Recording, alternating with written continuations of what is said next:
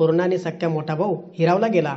त्यात तेवीस वर्षीय भाऊजाई व तिची एकोणावीस महिन्यांची चिमुकलीला दुःखात लोटली गेली. एकत्र कुटुंबातील समाधान या सव्वीस वर्षीय तरुणाने मनाची हिंमत बांधत आपल्या चिमुकल्या पुतणीचं पालकत्व स्वीकारण्याचा निर्णय घेत कुटुंबातील चुलते वडील यांच्या सहविचाराने त्याने विधवा भाऊजाईबरोबर विवाह करण्याचे ठरवले. आणि रविवारी माळादेवी येथील खंडोबा मंदिरात प्रांगणात हा लग्न सोहळा पार पडला.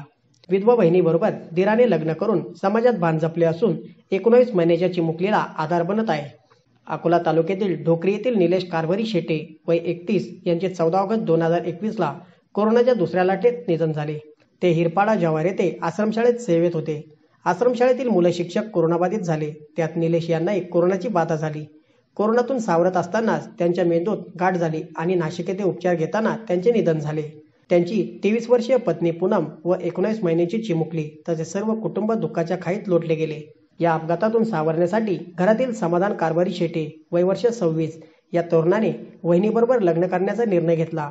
त्यांचे चुलते सीताराम पाटील शेटे सामाजिक कार्यकर्ते माधव तिमटे भाऊ मंगेश शेटे पूनमचे माहेरकडील टाकारी येथील एखंडे कुटुंब यांनी सकारात्मक विचार केला. विधवा मुलीची व सर्व कुटुंबाची मानसिकता तयार केली.